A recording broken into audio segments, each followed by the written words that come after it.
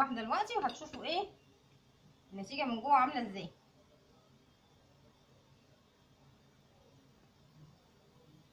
الأطفال طبعا بيحبوا بقى إيه الحركات دي. بصوا بقى عايزة أوريكم بس من جوه هش إزاي. ما شاء الله شايفين؟ شايفين طري قد إيه وهش؟ اهو. جميل جدا. جربوه بإذن الله هينول اعجابكم أهلا ومرحبا بكم في قناة نغمات الأطعمة. معكم سهير من قناة نغمات الأطعمة. أهلا وسهلا بحضراتكم. إن شاء الله هعمل معاكم الكرواسون بكل تفاصيله. آه المدارس قربت بقى وعايزين حاجة كده لأطفالنا سريعة ومغذية وفي نفس الوقت إيه آه تبقى سهلة كده معاكي. والصبح انت بتلبسي الأولاد فيلا بينا على المقادير والطريقة بقى عشان ما تقولوش عليا رغاية. عندي هنا كيلو من الدقيق بتاع مخبوزات نخلاه ثلاث مرات. تمام؟ ربع كيلو زبدة تكون بدرجه حرارة المطبخ تكون سايحه كده. عندي بيضتين معلقة صغيرة من الملح معلقة كبيرة من ال baking powder عندي هنا باكو خميرة كوباية صغيرة من السكر نص كيلو حليب. سهل خالص وبسيط. يلا بقى بينا إيه نطبق مع بعض. عندي هنا أول حاجة بس كده لنفسي. أجيب كده إيه؟ دقيق. لازم يكون ممخول ثلاث مرات. أنا بأكد بس على المعلومة عشان إيه؟ تبقى سهلة معاكم كده وتبقى حلوة. هحط كده ال baking powder تمام؟ وهحط كمان الملح.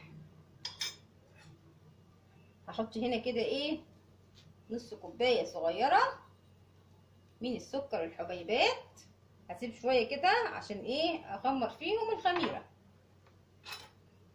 هقلب بقى كده إيه؟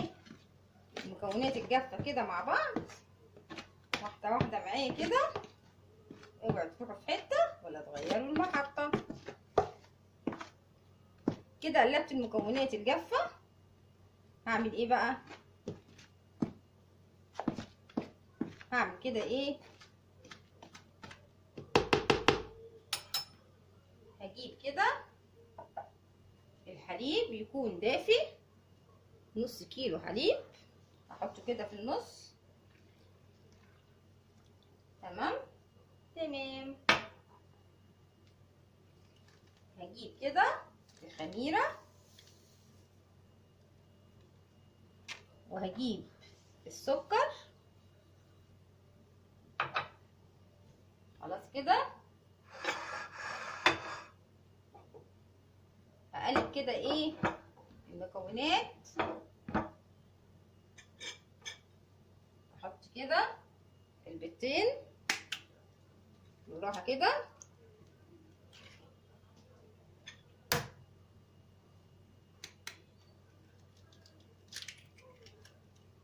هقلب بقى إيه؟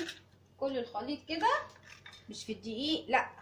النص كده هقلبه واسيبه عشر دقايق لغاية ما إيه ما يتجانس مع بعض الخميرة والبيض والايه والحليب عشان ينشط.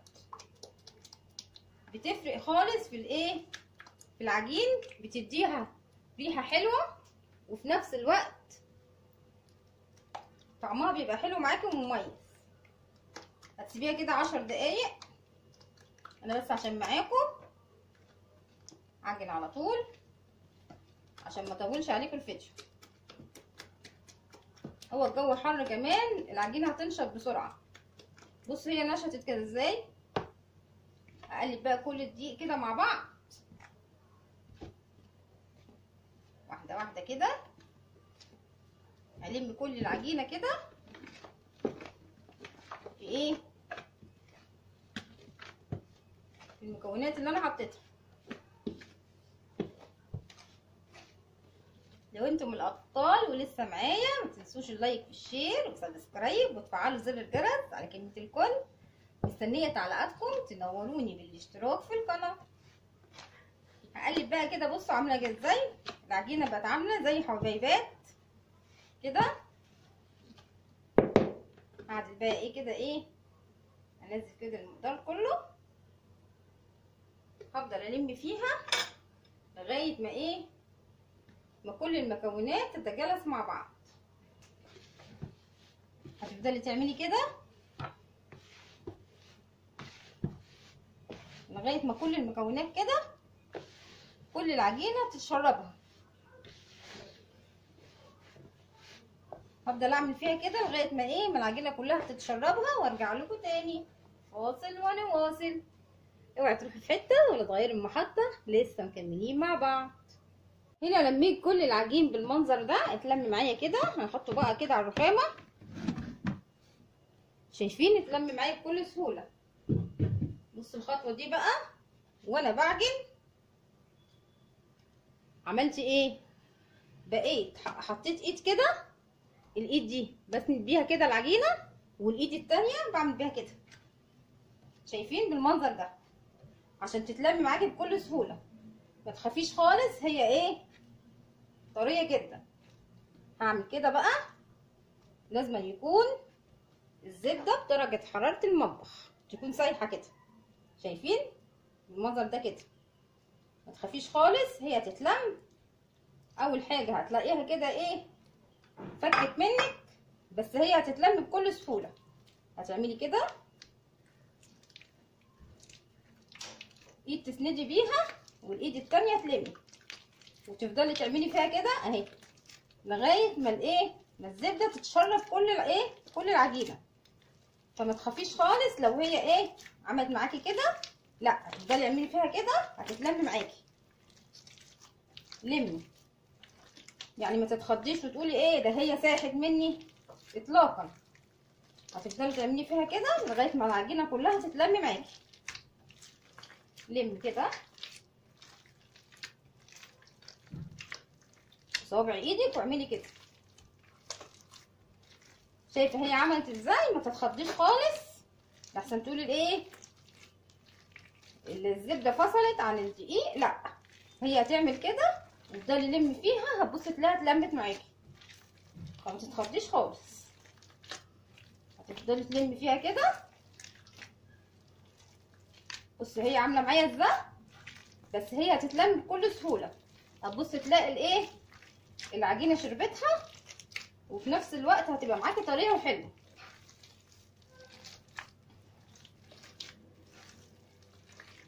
هفضل بقى أعجن فيها كده لمدة خمس دقايق عشان ما أطولش بس عليكم وأرجع لكم تاني.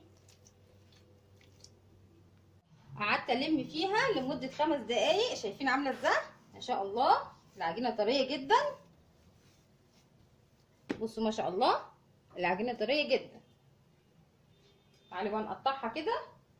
طبعا هتقطعيها على حسب إيه؟ على حسب القطعة اللي أنت عايزاها.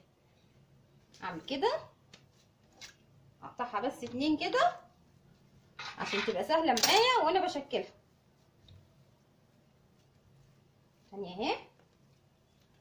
خليها كده على جنب.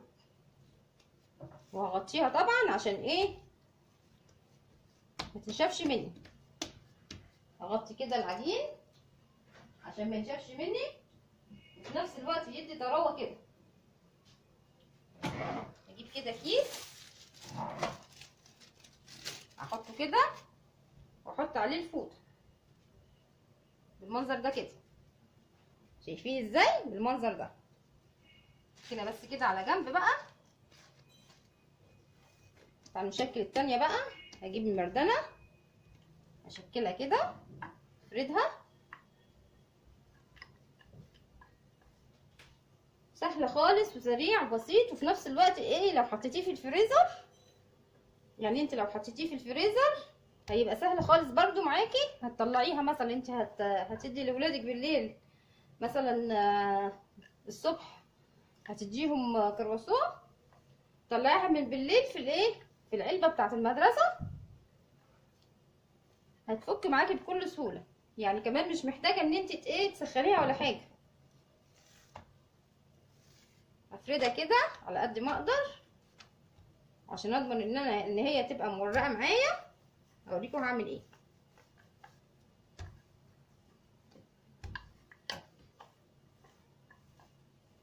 بصوا فردتها إزاي. أجيب بقى إيه الجزء ده. أروح عاملاه على الجزء ده كده. وافرد. أنا ليه بعمل كده؟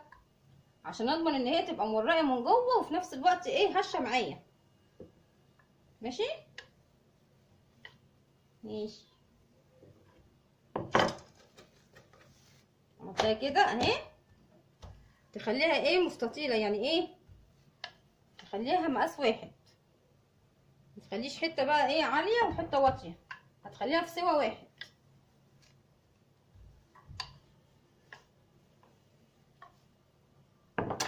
اعملها تاني كده. أروح عاملاها تاني كده. خلاص كده. شايفين بقى أنا طبقتها كام مرة؟ أربع مرات. افرد بقى. اخر فردة. المنظر ده كده. حاجة من الاتنين بقى. تفرديها كده. تبقى إيه؟ سمك واحد كده. شايفة السمك؟ سمكها واحد. هقلبها على الناحية التانية وبرضو افرد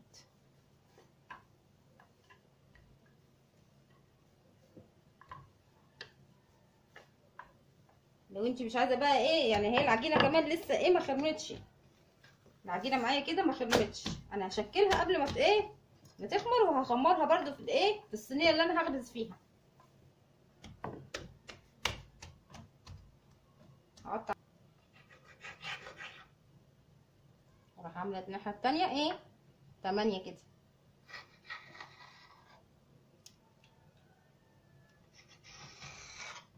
شايفة إزاي؟ كده اهو. هشكل بس واحدة معاكم عشان ما اطولش عليكم. دي طبعا إيه؟ هتتقسم اتنين. عشان دي تبقى كبيرة قوي. هخلي العجين كده على جنب وتعالى اشكل معاكم واحدة.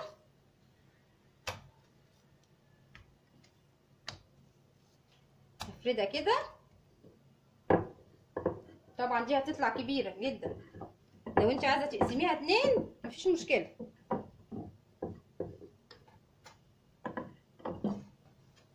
هلف بقى كده هلفها كده.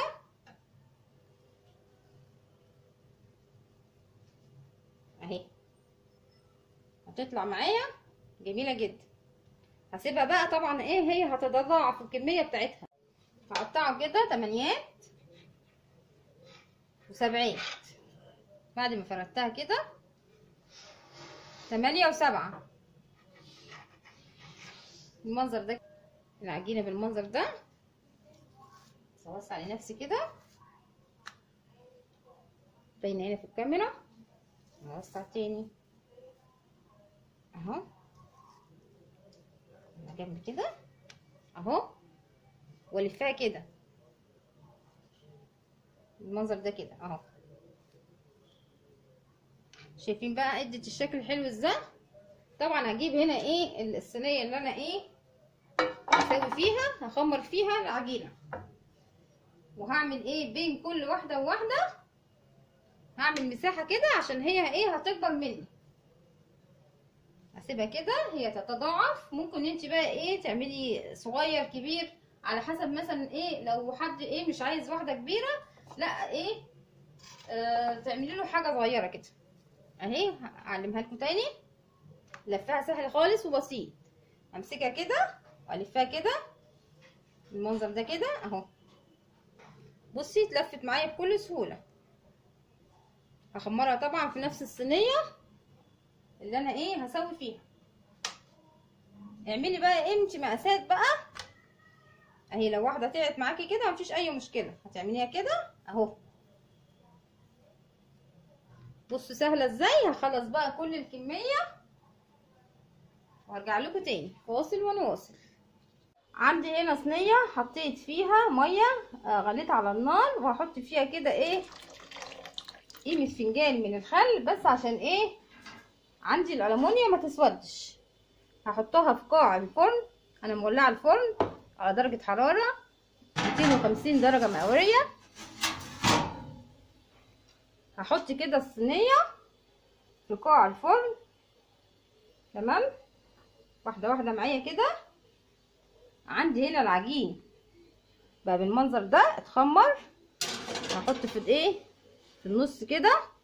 هشغل الفرن من تحت. واول ما ألاقي الكرواسون عالي معايا كده وبدأ يستوي هشغل عليه الشواية. هقفل عليه الفرن كده مش هاجي ناحيته لغاية ما يستوي. وادي شكله لما طلع من الفرن. شايفين جماله حلو إزاي؟ بصي بقى يا امرايه هتجيبي بقى إيه؟ أي مربى عندك مربى مشمش مربى فراولة أي طعم مربى انت بتحبيه. هتعملي الوش كده هيفضل معاكي بيلمع مش هيحصل له أي حاجة. جميل جدا. وطبعا حاجة بقى نضيفة في البيت.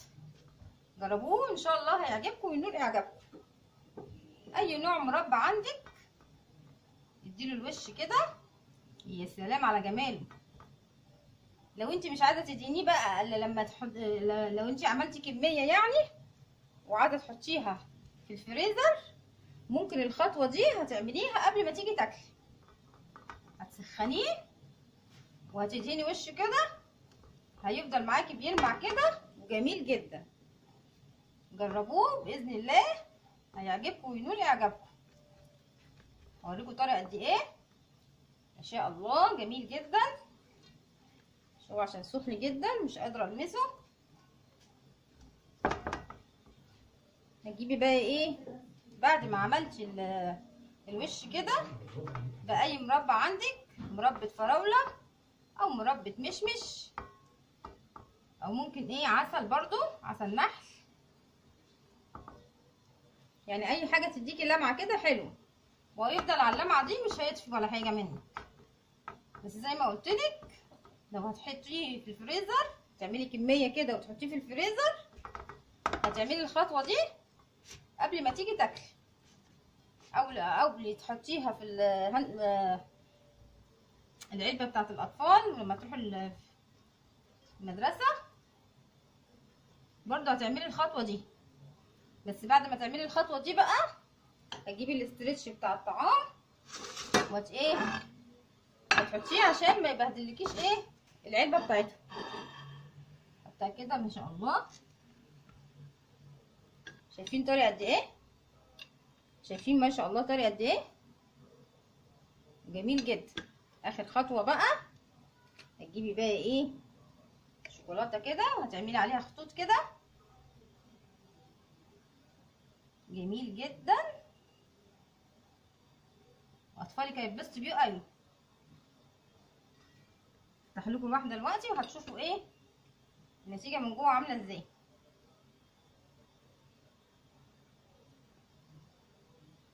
الأطفال طبعا بيحبوا بقى إيه الحركات دي. بصوا بقى. عايزة أوريكم بس من جوه هش إزاي. ما شاء الله. شايفين؟ شايفين طري قد إيه وهش؟ أهو. جميل جدا. جربوه بإذن الله. هينول اعجابكم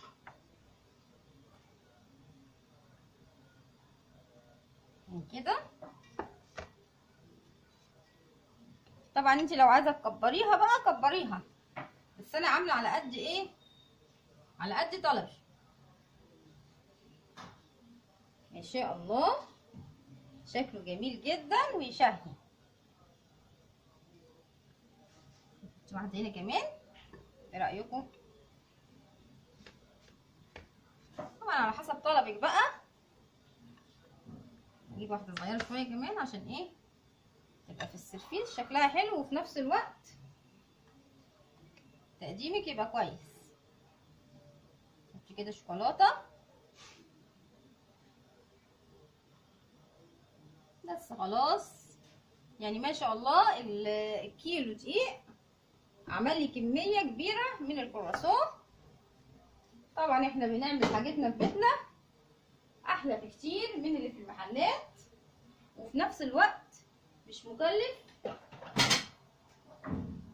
مش. مش هياخد منك أي مجهود. يعني الكمية دي ما شاء الله هتقعد معاكي كتير. شايفين منظره بقى جميل إزاي اهو. ما شاء الله. جميل جدا. عايزة اقرب لكم بس الكاميرا كده تشوفوا جماله عامل إزاي. شايفين جماله بقى؟ بسم الله ما شاء الله. جميل جدا. وطعمه تحفة. ما تنسوش بقى لو عجبتكم الحلقة اعملوا like و share و subscribe. وتفعلوا زر الجرس على كلمة الكل. مستنية تعليقاتكم تنوروني بالاشتراك في القناة.